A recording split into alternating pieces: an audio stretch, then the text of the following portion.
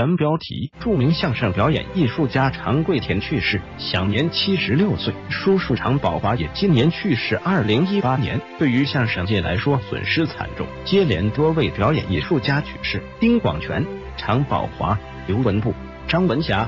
施圣杰和谢天顺等六位，现在算上常贵田已经是七位。虽然他们都年已花甲，但还是值得观众铭记和致敬。毕竟他们都曾经为广大相声爱好者带来过快乐和笑声。常贵田出生相声世家，爷爷是相声大师常连安，父亲是小蘑菇常宝坤，也是今年去世享年八十八岁著名相声表演艺术家常宝华的侄子。常贵田十二岁就拜师赵佩如学习相声，十六岁入伍，也是相声界唯一一位将军副军级。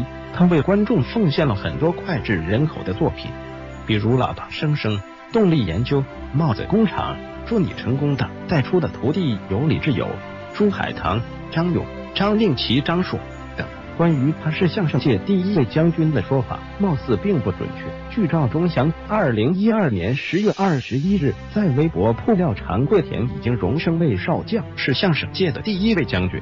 十月二十二日，常贵田说自己在十八年前就已经是少将。曲艺界的黄宏和李立山也是少将军衔。其实，对于文职军人没有将军的说法，只有专业技术级别没有军衔。